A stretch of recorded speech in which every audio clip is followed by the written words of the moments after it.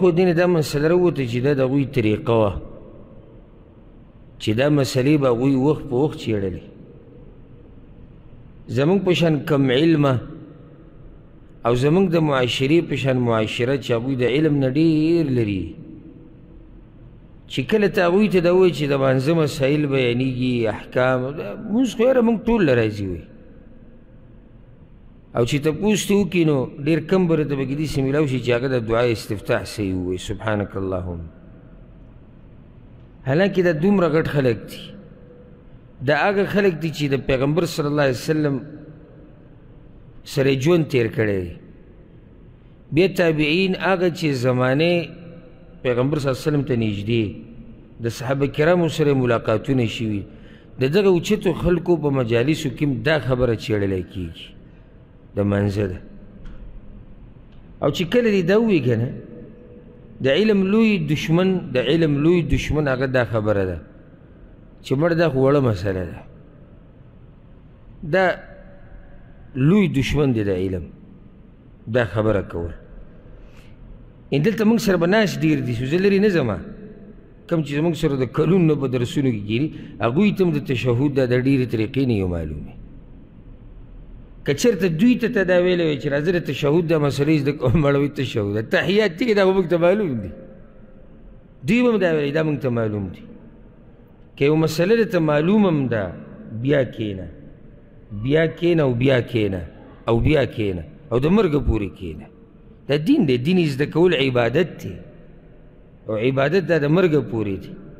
هر پیر له چې ته مسله اوري ته به نوي څه زده کې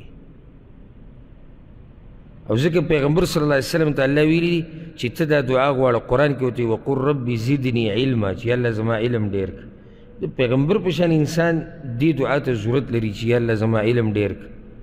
او موږ چې کمزوري خلک یو موږ ته که څوک وایي چې یاره د مانځه مسله مانځه خو موږ له راځي د په ذهن کې منځه مسلې دقه دي دا دوه درې چې کوم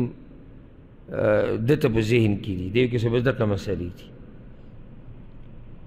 نو یو به دا خبره چېرته نه کوي چې دا ماته معلومه ده د دې سره انسان د علم نه پاتې کېږي یو خو دا خبره ستا یقیني نه ده چې تا ته معلومه ده دا خو ستا ذهن کې دا دي چې دا ماته چې کومه معلومه ده بس دقه ده نور څه نشته دویم که درته معلوم هم د یقیني د علم نه به ځان اوچت نه ګڼې بیا هم کښېنه موږ سره صحابه کرامو نه اوچت خلک نه یو موږ د تابعینو نه اوچت خلک نه یو چې هغوی په خپلو مجالسو کې دا قسمه مسئلې بیانوي د هغوی هغوی زموږ دې ته ضرورت دی زمونږ ته هم ضرورت دی او دا نور هر څه پرېږده د تحیت ته ډېرې طریقې هم پرېږده ته راولې یو دوه درې کسان چې زه ته صرف د تحیت ته ترجمه اورم چې دا ورته معلومه ده که نه معلوم څه شي باندې مونږ وایو چې مونږ پوه یو د څه شي مونږ پوه یو او په څه مونږ پوه یو دا حقیقت دی هسې په زور خپل صفتونه نشو کولای او نه زه ګورې الحمدلله په هغه خلکو کې یم چې د چا صفتونه هسې پالتو کوم زه ستا صفت په څه وکړم تا ته څه معلوم دي دغه یو مونځ دی چې هغه موږ د بابا بۍ نه اکثر زده کړی په یې کې هم ډېرې غلطیانې دي په معنو یې نه پوهېږو او بیا موږ وایو یاره موږ چې څومره په دین پوهېږو دومره څوک نه پوهېږي څه شي موږ په دین پوهېږو اسی که څوک سینه زوري کوي او وایي چې نه جي موږ خو ډېر پوه یو دا به دی هسې هغه خپل یو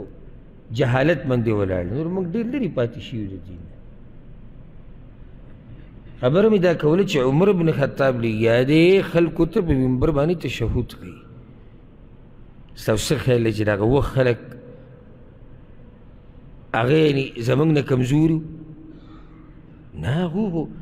د صحابه کرامو سره چې ملاقات وشي او بیا پکې صحابه کرام به هم ناست وي چې هغوی د پیغمبر سره ملاقات کړي دا معمولي خلک خو هغوی هم دې مسلې ته ضرورت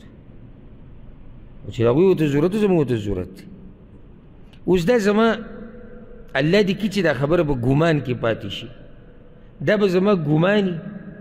چې دا تېر شوي هفته چې موږ کوم دا څلور طریقې ښولي دا به تاسو نه یادې کړي او الله دې کړي چې زما دا خبره صرف په ګمان کې پاتې شي حقیقت یې نه او الله دې کړي چې زه پکې غلط یم خو هسې داسې ماته ښکاري داسې چې موږ څلور طریقې ذکر کړې دا تاسو ته نه دي یادې سره د بیان موږ ته نه دي یادې سم خیال دی چې راته بیان نه شي نو د کوم ځای نه به یاد یعنې موږ ته بیان شي بیا موږ یې یادې کړي لاپرواهي د دین نه لرېوالی او ټوله ورځ چې موږ کینو دغه خبره به کوو یاره ملک کې څه وشو سیاست کته او سیاست بره او پلانې لاړ او پلانې راغی د دې ټولو سرچینه هغه دا ده چې موږ د الله د دین لرې شي چې څو پورې موږ خپل کردار نه برابر کړی ملک معاشره قوم نه برابرېږي اسی پالتو خبرې پرې د په مجلسونو کې ناسې دوه درې ګنټې موږ دا باس کو څوک لاړ او څوک راغی ستا د الله سره رابطه څنګه ته اول ماته دا قصه وکړه زه اول دې کې کېنو تا لمونځ صحیح درځي ته به د خپل مانځه پوهېږې ته چې څه اول دا خبره حل کوو د هغې نه بعد به بیا د وزیراعظم او د صدر سره ګورو او دا مسله حل کړو زما استاد کور ته د ملک نظام غم راغسته ستا د کور نظام څنګه ته اول ما په دې پوه وکړه نو زه خو حیران یم دې لاپرواهۍ ته او په دې کې بیا موږ دا ووایو چې یاره موږ جي پوه یو دا مونځ یوازې دا نه چې ته ودرېږه الله اکبر او بس بیا کته بره کې او خبره ختمه شوه هغه خلکو هغه خلکو ته د عبادت قدر معلومو نو دومره غټ خلک خو محتاج دي دین د الله ته ځکه د یاده که اوس دا دی عمر بن خطاب رضی الله عنه چې دته عمر فاروق ویل کېږي دا عمر فاروق چې عمر فاروق شوی دی که نه دا هم د دین د لاسه عمر فاروق شوی دی او ابوبکر نه چې صدیق جوړ شوی دی هم د دین د لاسه دی عثمان چې عثمان غني شوی دی او علي بن ابي طالب چې راوچته مرتبه موندلې ده او بیا د علماو او د امام بخاري او امام مسلم او امام ابو حنیفه امام شافعي دا خو ټول د دین د لاسه د دین نه څوک اوچت نشتی چې وایي یاره زه ما زما ورته ضرورت نشتی موږ ټول دین ته محتاج یو او موږ یوې یوې خبرې ته محتاج یو یوې یوې خبرې ته یعنی که څوک راته دا ووایي که نه که څوک زه زه تاسو به کېدای شي پوه خو زه خپله خبره دا کوم که ما ته څوک دا ووایي که نه ما ته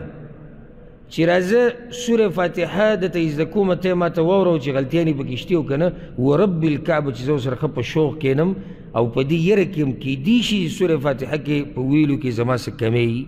نو پرېږده چې واورو مو ته که څه کمی چې راوځي پکې که زه خو ډېر په شوق ورسره کښېنم سوره فاتحې تلاوت صحیح کولو ته پاتې لا نورې مسلې ځکه چې موږ د دین یوې یوې خبرې ته محتاج یو او که زما دا سوره فاتحه صحیح وي زه به ورته واورم زه به د علم په مجلس کې کښېنم د علم د مجلس ناستې اجر به راته میلاو شي د دې تلاوت اجر به راته میلاو شي او د علم په مخ کې مې عاجزي وکړه د استاد په مخ کې مې عاجزي وکړه د دې به رالم الله اجر راکړي مونږ کې چا ته ووایي چې قرآن کو قرآن وي مونږ له راځي یو وخت کې یو ملګری ولته درسونه لم راځي هغه ته ما یو وخت کې ما داسې کار کو دی ماښام کې دلته کېده دا څه کسان به سره کینی دا تلاوت به سې کې آی سور چې غریب راغی بیا لاړ ما ته څوک نه کینی ما دا ټول پوه دي او اصل کې مې خبره دا و چې دا ټول ناپوه دي چې یو سړي تا نه څوک پیسې نه غواړي تا ته وایي راشه خپل قرآن صحیح کړه ته ورسره نه کېږي یعنې تا نه پیسې هم نه غواړي چې ما له پیسې راکړه خو تا ته وایي راشه د الله کلام یې زده کړه چې دا څنګه ویلی کېږي د الله کلام یې زده کړه څنګه ویلی کېږي په دې کې سړی وخت ونه باسي اوس که د دې په دې چا ته د دنیا یو ټوټکه وښوه چېره که ته د ماښام نه بعد داسې په هغه طرف باندې ورشي که نه د ماسوتنه به یو لس روپۍ پکې ورکوي نو د لس روپو دپاره چې مونږ کومه خوله په ځان راولو که نه شنه خوله شنه خو چې دا لس روپۍ اوس ماته میلاو شي لس روپۍ نو لس هفته کې اویا په میاشت کې درې سوه ضرب اتیا او لوی شی ته جوړ شو که دغه شان ضربونه او حسابونه موږ د اجر کولی که او د الله د راضي کولو باره کې الله به زموږ نه راضي شوی مو او زموږ د تلې د نیکیانو دا به ډکې شي مقصد خبرې له راځو واپس چې عمر ابن خطاب خلکو د تشهد خو په کوم ځای کې په منبر باندې یقول قولو هغه دا ووایي خلکو ته وایي تاسو داسې وایئ التحیات لله ټول د جبې عبادتونه خاص الله لره دي د دې وضاحت مخکې شوی الزاکیات لله التحیات لله الزاکیات لله ټول پاک اخلاق او اعمال د الله لپاره دي الطیبات الصلوات لله